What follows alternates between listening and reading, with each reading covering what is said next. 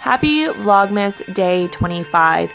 I can't deny that I am doing this video on January 2nd, but when I say I'm gonna do something, I do it. So, on Christmas Eve, I drove out to Palm Springs to pick up my dad, who didn't have any transportation to get to Christmas Day with us and spend the day with my family, so I went out on Christmas Eve to pick him up. He needed to get a hair trim, so this is me reading my healthy gut book at the barber shop. And afterwards, we went to one of my favorite restaurants in Palm Springs called Lulu's,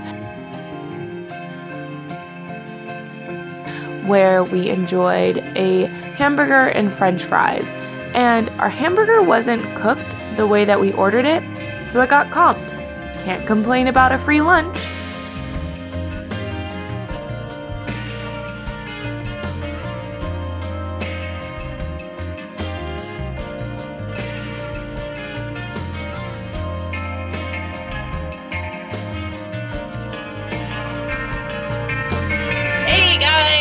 So currently Dan and I are just driving around looking at Christmas lights and we have the whole fam here.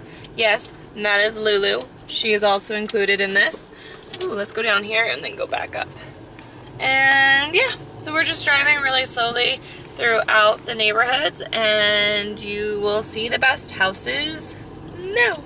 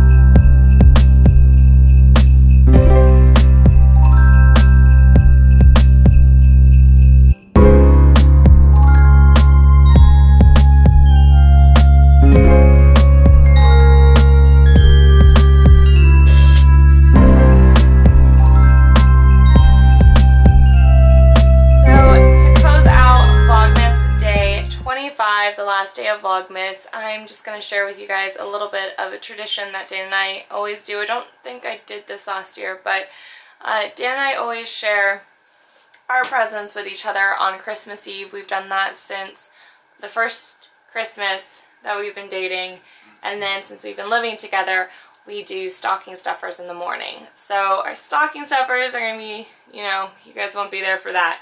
So we're going to go and open our presents off camera and then I'll show you what we got afterwards. Alright. So I got Dan this original penguin shirt and one vintage jacket whenever we find it because I couldn't necessarily purchase that without him trying it on. So it's got a coupon for one vintage jacket. And I have a few ideas of places we can search. So cool. Crossroads. You happy? Yeah, I am. Thank you. Yay.